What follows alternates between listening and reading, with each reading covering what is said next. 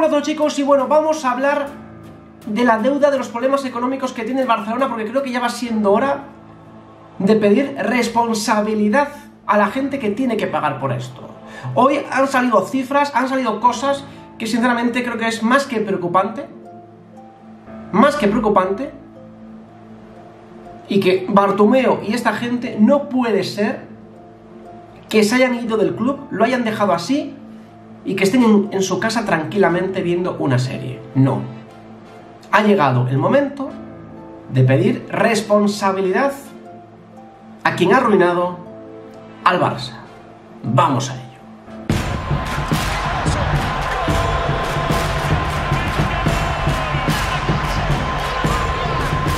Bien, pues como decía, vamos a hablar de esto porque creo que sinceramente ya me toca un poco los huevecillos esto, ¿eh? Hablamos que ya nadie habla de Bartomeo, ya nadie habla de la anterior junta directiva, pero es que hoy ha sido muy claro, muy claro, la porta afirmando que aquí se ha hecho las cosas muy mal.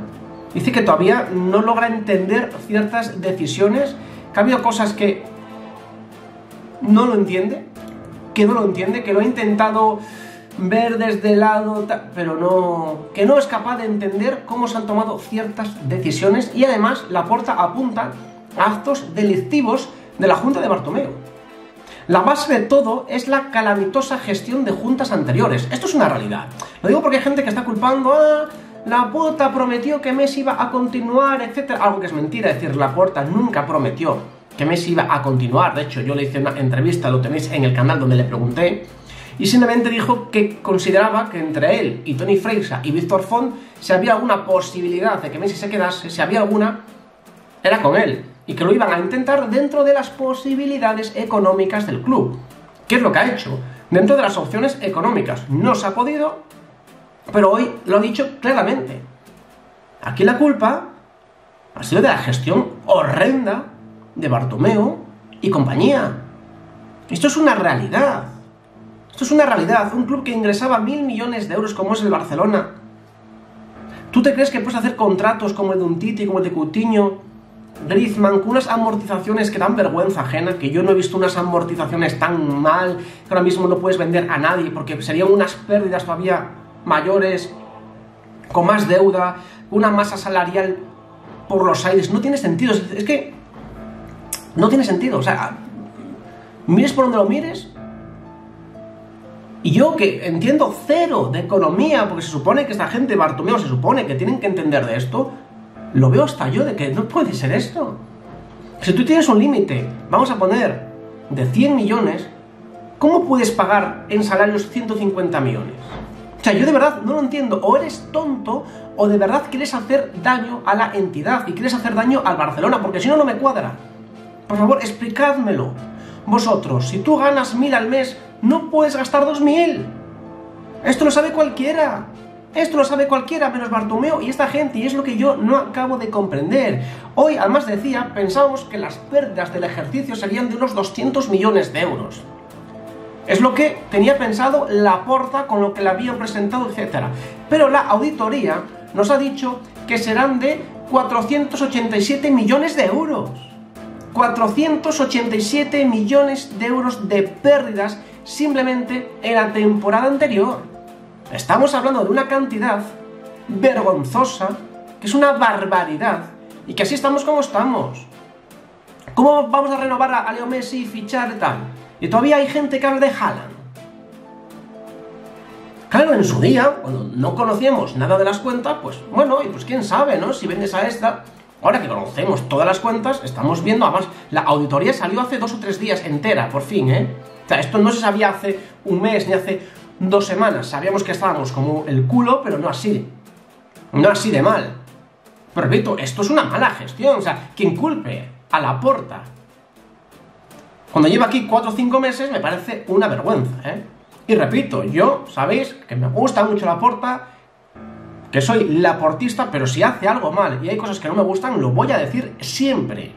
Yo aquí no me caso con nadie, porque además esto y hoy lo ha dicho muy bien la porta, el club está por encima de todos. De todos. Por lo cual, si la puerta hace cosas mal, lo voy a decir. Pero en esto, vamos a ver. ¿Quién va a dar responsabilidad de la situación económica a la puerta? Sería ridículo. La tienen Bartomeo y etcétera. Esto, repito, eh, a ver. Esto, alguien tiene que pagar por ello. O sea, esto es lo que no puede ser. Lo que no puede ser es lo que estamos viendo. 487 millones de pérdidas. Dice que es optimista, que puede ser que en un futuro haya unos ingresos, etcétera, pero que ahora mismo, claro, que es increíble. Y dicen, 95% de los ingresos están comprometidos en salarios. Sin Messi. Esto sin Leo Messi. Sin Leo Messi el 95% de los ingresos comprometidos en salarios. ¿Veis esto normal?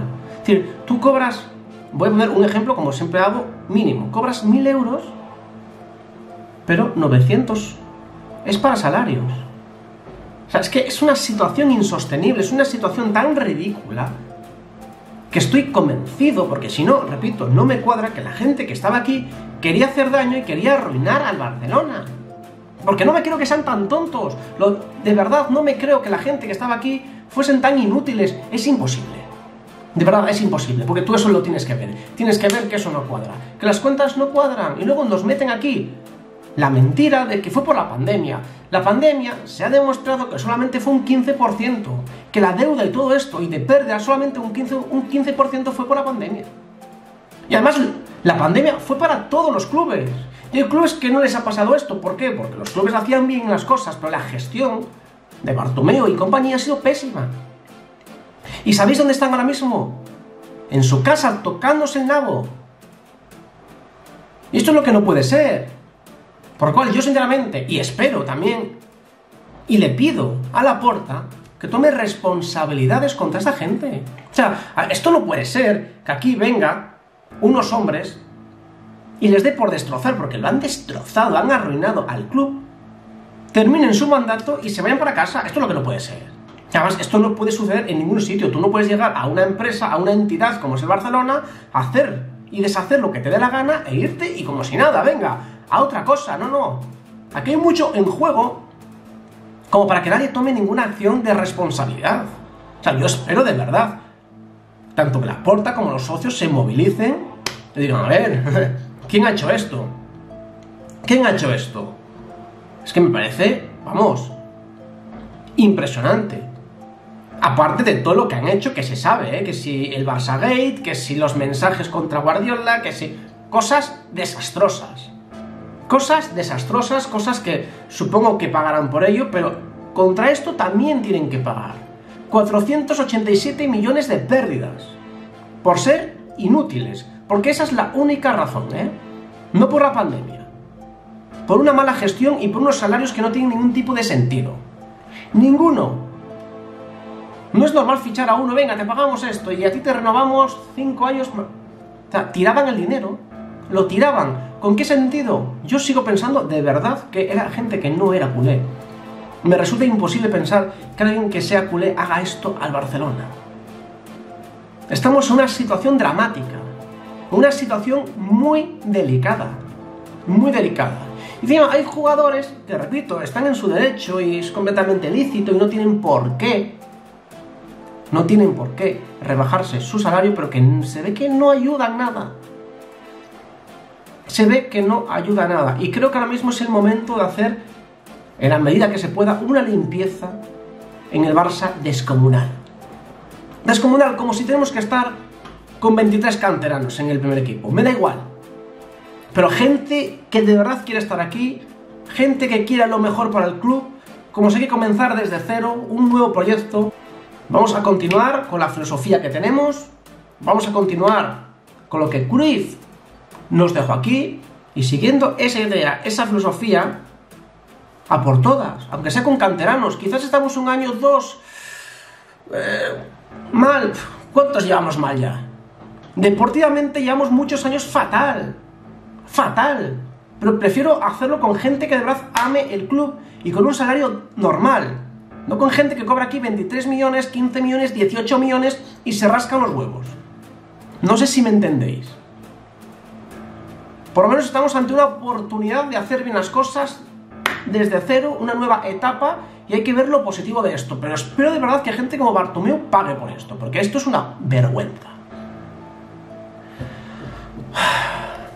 En fin, dejadme todo en los comentarios qué os parece esto, qué os parece todo esto que ha dicho la porta, lo de Bartomeu, lo de las pérdidas, en fin. Ya sabéis, eh, apoyad este vídeo como siempre hacéis con un enorme like, suscribiros si todavía no lo estáis y nos vemos en el siguiente vídeo. Venga, un saludo.